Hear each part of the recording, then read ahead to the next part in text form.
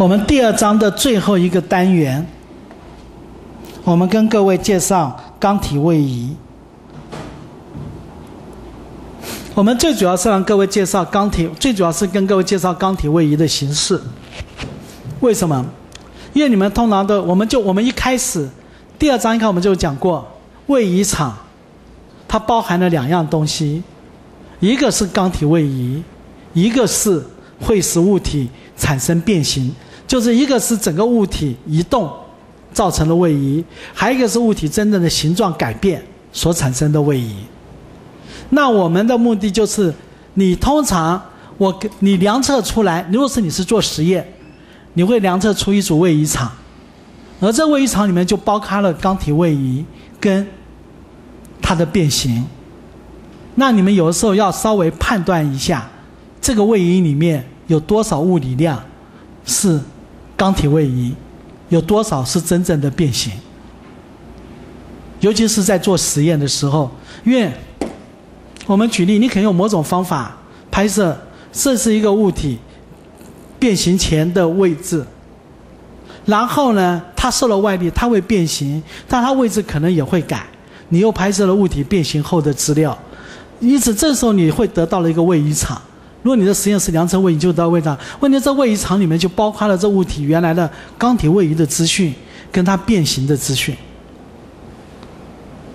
所以我们要把它分辨出来。你要分辨出来，你就必须要知道钢体位移的形式。通常里面，通常一种分辨的方法比较单纯，我们就是直接把这个位移场去微分。因为带到 F，因为是为钢体位移，你们知道就是固定的，所以钢体位移一微分通常都会等于零，就会不见了。但是那是因为你微分，所以你的应变一定不会包括钢体位移。但如果我现在不是问你应变，我就是问你它的变形场是多少，你就要知道钢体位移是什么样子。那钢体位移要提醒各位，它有两种，第一种很简单，它平移，这是一种钢体位移。那就很单纯，它的位移场一定是常数。所以，如果我告诉你说，有一个物体变形后，它的位移场，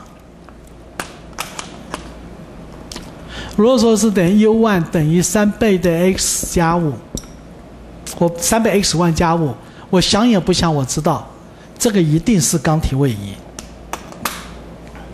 这是 x one 方向的钢体位移。这个康这是很明显，可是真正问题在哪里？你们不要忘了，钢体位移不是只有平移，我也可以转动。如果钢体位移转动的时候，你们在应用力学里面就学过。如果我这个是固定，我绕着这个转，我这上面每一点就离原点的距离，我转动的就位移量都会不一样。也就等于说，转动位移会跟坐标有关，所以我们的问题是出在这一个是不是刚体位移，这才是重点。如果先这样子写，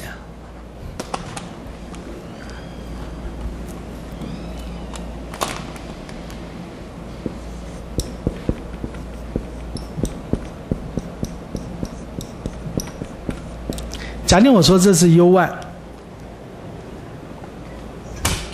这种非线性向、平方向以下，这些绝对不会是钢体位移，因为你们知道，这怎么微分都还会存在。重点是这个线性向，它会不会是钢？它可能是位变形，也可能是钢体位移。因为我们刚才已经讲了，如果物钢体是 rotation 的话，它会有这个一次向这些东西。所以我们现在来看。首先，我们先给看一个定理。假设 u_i 星号是一个 constant vector，就是它所谓的 constant，就是说这个函数里面没有 x y x two，比如说 u1 等于3 u2 等于4 u5、u3 等于5，这就 constant vector。然后 c 打 i_j 星号也是一个 constant tensor，也就是它里面的九个系数都是常数，不会有 x、y、3，而且注意信打星号。是一个 skew symmetric tensor 反对称 tensor，也就是说，这个 tensor 的三个对角线的值都是零，然后其他的值都是刚好乘差一个负号，西打一二等于负的西打二一等等。那现在有一个位移场，我们说 u 等于 u 星号加上西打 i 阶乘上 x 阶。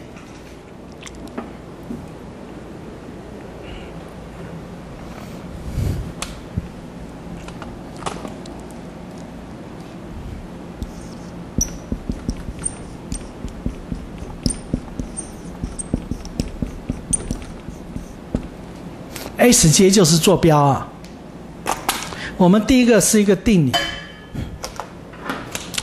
假设有一个位移场，形式是这样子，这是常数，这也是常数，可是这是反对称。那我们这个定理意思说，针对，而且我们现在考虑只考虑小变形啊。我们意思我们题目叫做 infinite 小变形之下的钢体位移，那我们就说，针对这个来讲。我的这个 infinitesimal strain 一定等于零。我们这边写的，我在讲义上面有一个这个字，这是简写，这个我后面有括号，指的是 if and only if，意思指的就是若且为若。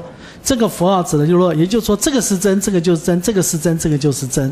我通常这个符号代表的是 if and only if，指的就是若且为若，意思也就是。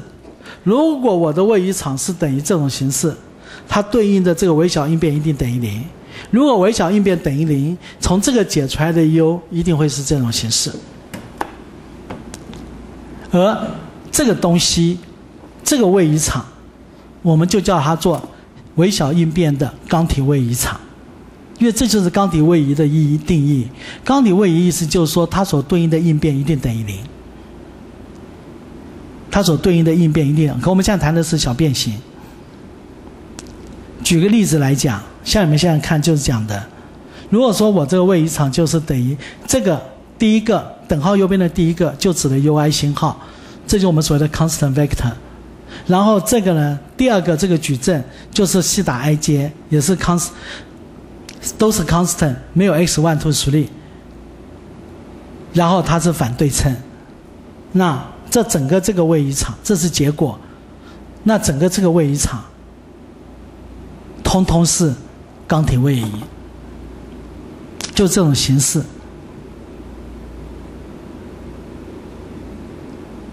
嗯，那如果随便给你一个，像我刚刚写在黑板上的那个几 x，到底是不是钢体位移？因此你们要判断钢体位移，从这边这个例子你们看，它必须要。三个位移场，U1 U Two、u 一起判断，因为它的关键就在这。有没有这种像？我们把它这个我们补充一下。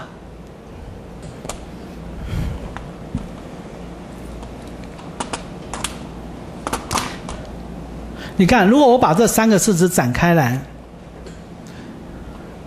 U one，这是一个常数，其实不重要啊。抱歉，要人再麻烦一二，加上第一个欧米伽一，那个西打一一是零，所以加上西打一二的星号乘上 x two，加上西打一三的星号乘上 x three，这是第一个。u two，u two 星号加上。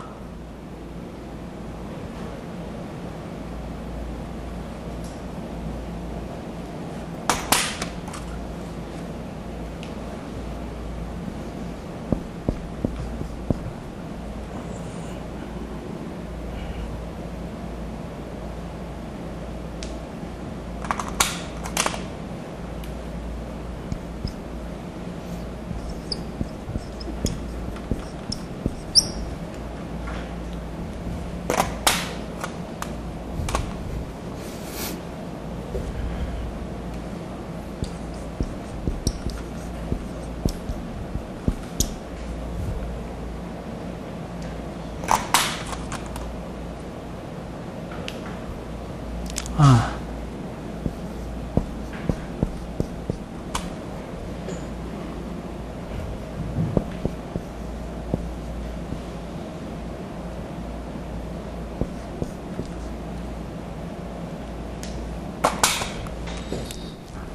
各位看，我现在是把我刚刚的式子，上我给它展开来写，所以你们仔细看没有？如果是刚体位移的话，常数项一定是刚体位移，没有错。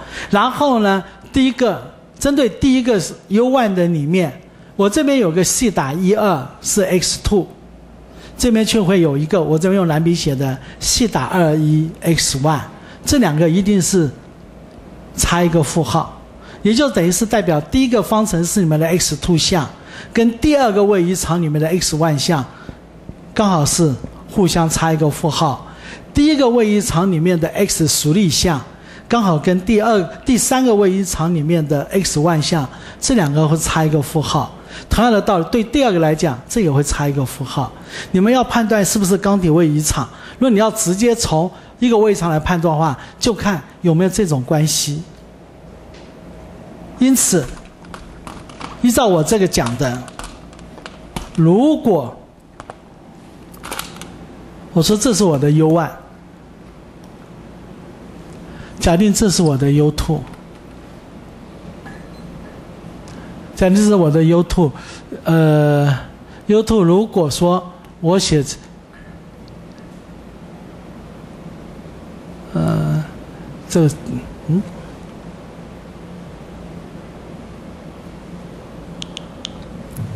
抱歉，呃，这下有点眼花了。我刚才写 x one，要人我这边写的是什么？x one 的加上 OK 好，这是四 x two。就像我刚刚讲的，如果我 u 我 u two 刚好写的是，刚好我就说是等于负四的 x one，然后再加上后面八八八一堆，不管。你们就看到了我刚刚讲的 u one 的 x one 项，跟 u two 的呃 u one 的 x two 项的系数，跟 u one 的 x one 的这个系数，刚好一个正四，一个负四，别的不管，这两个一定是钢铁位移，你可以挑出来，因为他们最后在做应变的时候一定会消掉，一定就会消掉。所以我们举这里主要是让各位这样看，他们有这种对应关系。就给你一个位移场，如果说我纯粹只是想一个位移场里面把钢铁位移挑出来，你们就去抓这种关系式，因为它所对应，我们待会证明，因为它所对应的是一个对称的反对称的西打 i 阶，所以会有这种关系。好，我们下面来证明一下，第一个部分证明我不细讲了，很单纯，如果。首先，我们先证明这个，假定我的 U_i 等于这个式子，我们证明应变等于零，这很容易。你把它带进去，最后很快的就证出来，它的那个应变就等于零，因为西塔 i 阶是反对称。这个第一个部分比较好证，第二个部分是反过来，如果 e_i 阶等于零。或者所谓的 f 小 i 阶一样，如如果 f 小 ij 等于零，那我们要证明我的从这个式子解出来的位移场是等于这个。那我这边先下，可我这个写的其实比较啰嗦，我们直接在黑板上再给各位证一下，会比我是讲义写的简单一点点。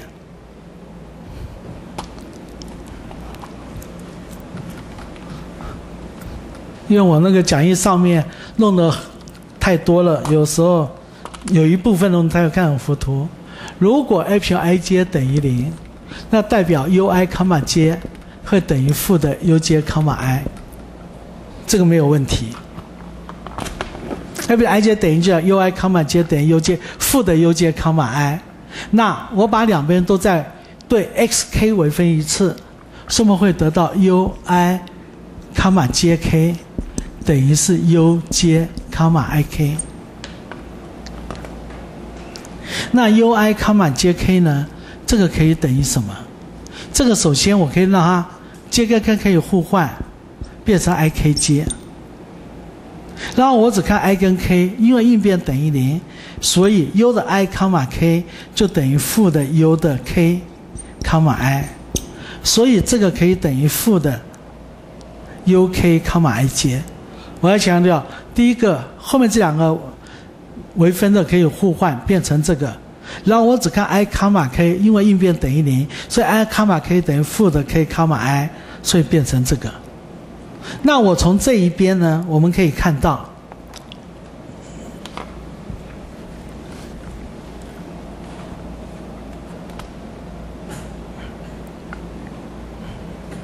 这个 U I 卡玛接 K，我也可以写 U 接卡玛 K I。哦，这边有个负的，先不要忘了，U 接卡玛 K I，然后 U 接卡玛 K 也等于负的 U K。康马 J，，所以变成这个。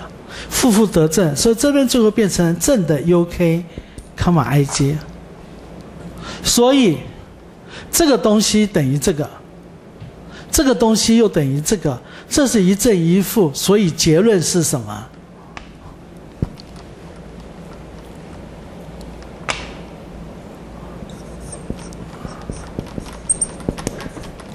？UI。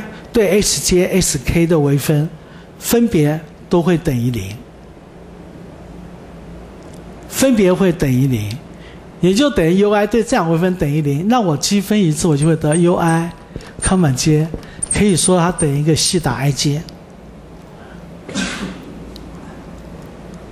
这是等于一个 constant，这是 constant，因为这个如果对 k 微分，这 constant 总微分都等于，就会变成这一个。所以 U I 康满接可以把它写成，这是一个西打 I 接。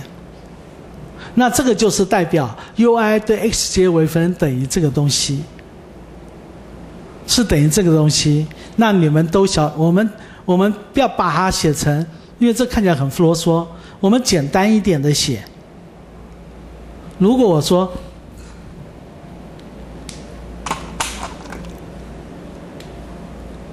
partial u one partial x two 等于一个 c 打一二，这是常数。那 u one 你们知道等于什么？是不是等于系打一二乘上 x two，再加上一个，比如说我们把它叫做 u two，呃 u one 星号，就是 constant。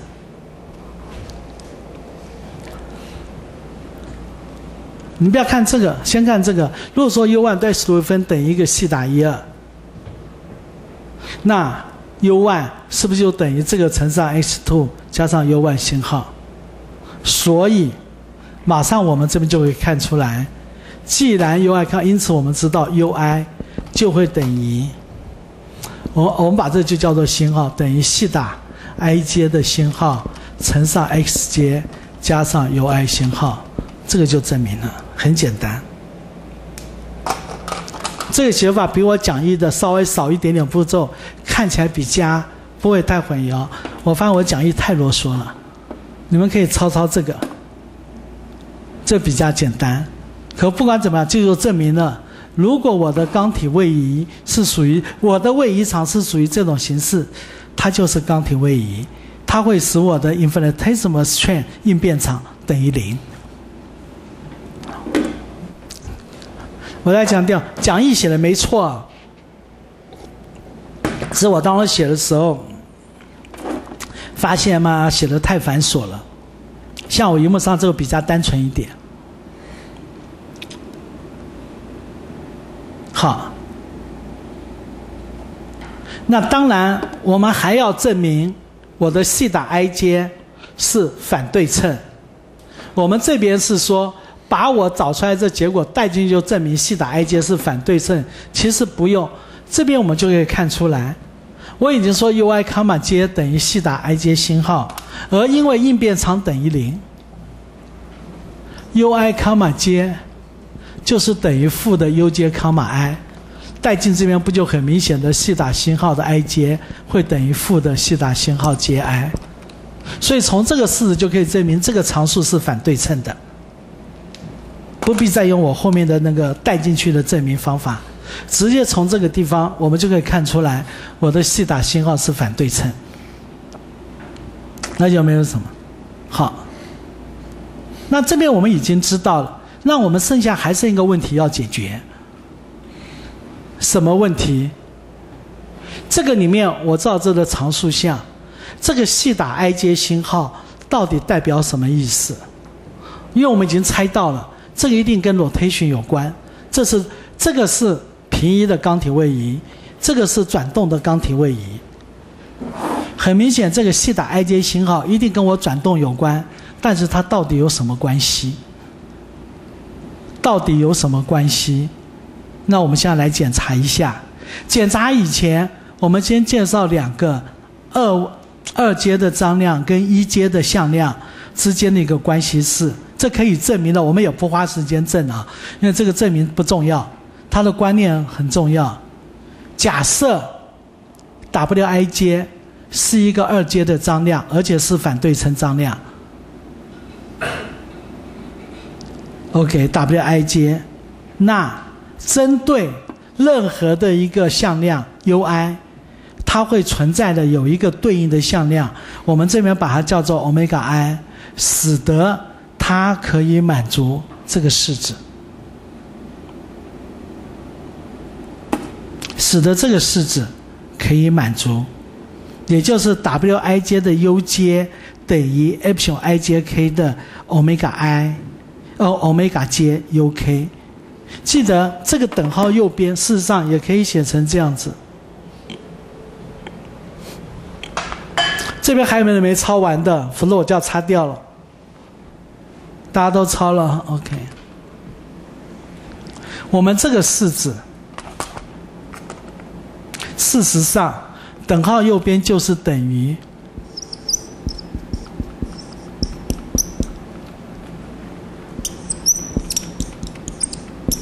你们看，就是等于 omega cross u，就是这两个向量的 cross 值。它意思也就是讲，给你任何一组反对称的张量，不管这反对的张量是什么，我一定可以找到某一个向量，而这个向量呢，会满足这个式子，不管 uyu to u 属率等于什么，不管 uyu to u 属率等于什么。这个式子一定会满足。那我们有告诉各位，而这个向量呢，是等于这个，可以直接由这个张量算出来。这个向量的分量欧米伽 i 就是等于负的二分之一的 epsilon i 阶 k w 阶那个 jk。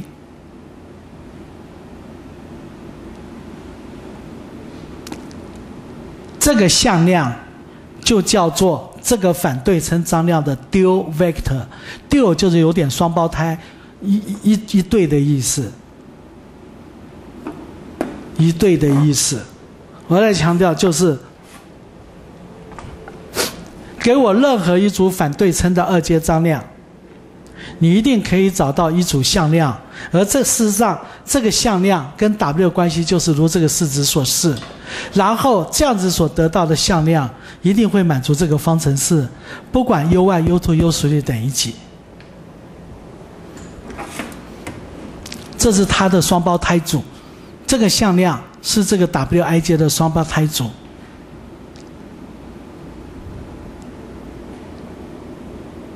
证明我们不不说了。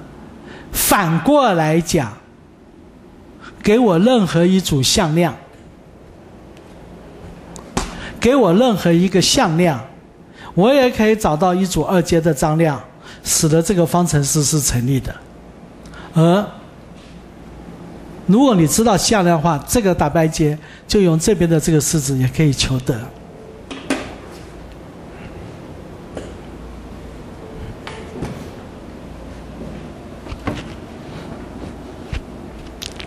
因此，每一组大家听好，任何一组二阶反对称张量，都有一个对应的向量，或任何一个向量都有一组反对称的张量，是一组反对称的二阶张量，使得这个方程式可以成立。这都是可以证明啊，我们不证明的，而且只有一组，它是有 n 可。这都是数学上可以证明的，但我们我们这个不是应用数学课，我们不花这个功夫，你们知道就好。任何就是说，在张量场里面，任何一个二阶张量反对称的张量都有一个对应的向量，或向量有个对应的张，这两个事实上是一样的，就是一组。每一个二阶张量都有一个对应的向量。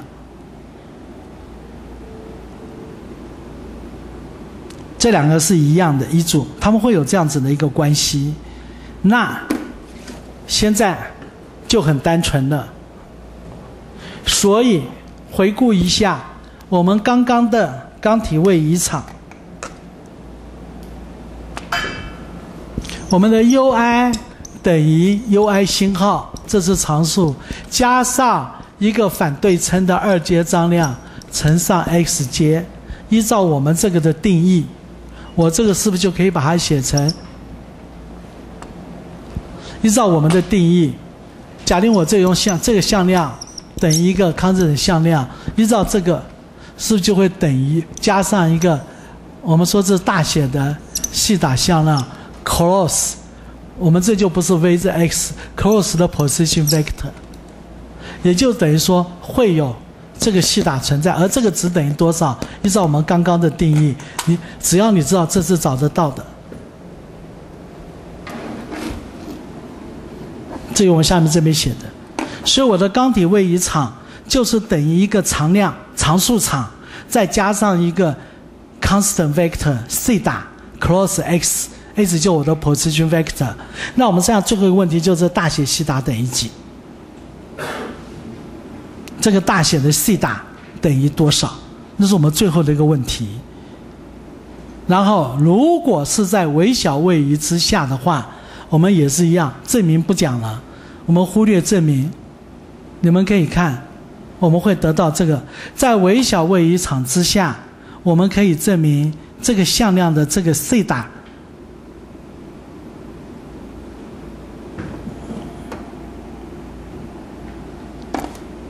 我们这个 c 打 i 星号就大的星号等于二分之一的 epsilon i 接 k 欧米伽接 k，而欧米伽接 k 是等于什么呢？就是等于我这个钢铁位移场的 rotation tensor。再强调，欧米伽接 k 就是等于钢铁位移场的 rotation tensor。钢铁位移也会有 rotation tensor，欧米伽接 k 等于钢铁位移场的 rotation tensor。好。如果大写西塔 i 等于二分之一 epsilon i 接 k 欧米伽接 k，那西塔 one 等于什么？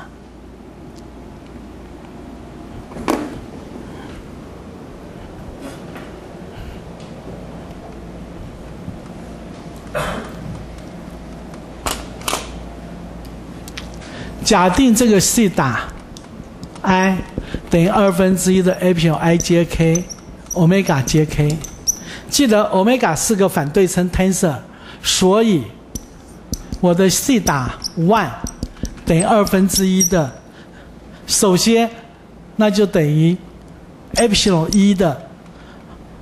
如果这个 j 跟 k 分别都是等于一或等于二等于三，那是没有什么意义，所以不必加了。所以一定只有 j k 等于一二或等于二一才有意义，所以是 epsilon 一二三欧米伽一二。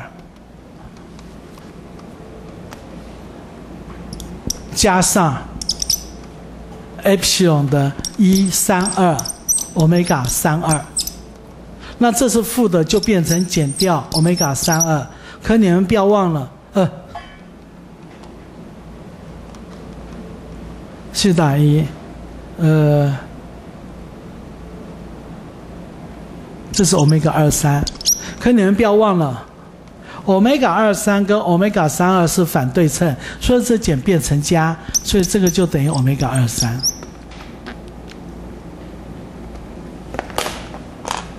然后我们前面又讲过，欧米伽二三事实上就是大约等于我的 fat 一。因此我们现在知道了，这个 c 打星号一等于欧米伽二三等于 φ 一，就是等于绕着 x y 轴的转动角度。因此，最后，当我们说钢体位移，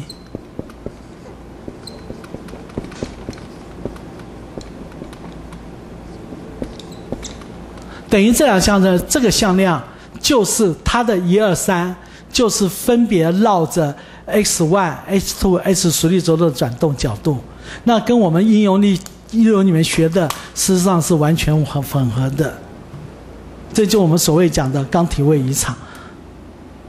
所以我们现在知道，它的钢体位移就是，因此这边这一最后这一节告诉各位几个：第一个，钢体位移场的形式，严格说起来就是一个向常数向量加上另外一个常数向量 cross position vector，而另外那个常数向量指的就是。对三个轴的转动角度，这个不稀奇。但是呢，如果我给你一个位移场，而这个钢体位移场对应的应变一定等于零。如果我给你一个位移场，要你们把钢体位移抓出来，就我们讲的，依照那个反对称的观念，可以把钢体位移场给拆出来。OK，好，这个呢结束了我们这个的第二章啊。第二章其实很多，但是你们介它主要介绍应变跟位移的关系，但是你们介绍了很多重要的观念，而且从那边你们也可以算出来它的体积变化、单位体积变化量、单位长度的变化量，以及它的一个线段、它的改变后的方向，你们通通以只要给你位移场，通通可以算出来了。